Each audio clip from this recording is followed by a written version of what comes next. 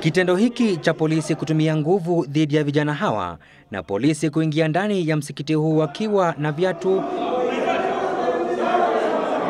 ambapo ni kinyume cha inavyotakikana katika dini ya Kiislamu kumeibua hisia kali. Katiba ya Kenya inatupatia sisi kama Wakenya haki ya kuwa polisi, kazi yao wao ni kutulinda sisi.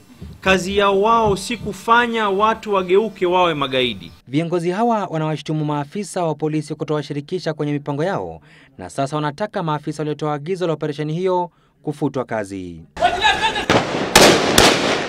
So you cannot, you cannot bring an ignorant uh, reaction to, an, to what you perceive as an ignorant situ, uh, uh, situation.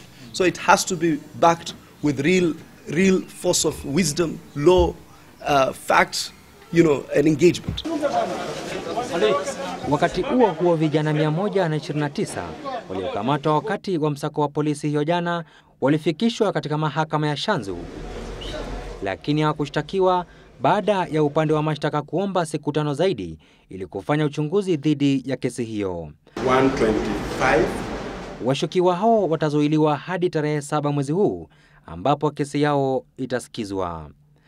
Victor Wetende, Citizen Nipashe.